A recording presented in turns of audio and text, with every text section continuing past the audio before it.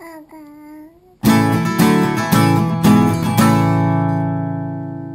everybody. So today's topic is home away from home, and I am going to say that my favorite home away from home is Puerto Rico.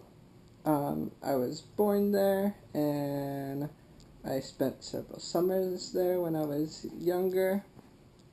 Um, so it was all pretty awesome.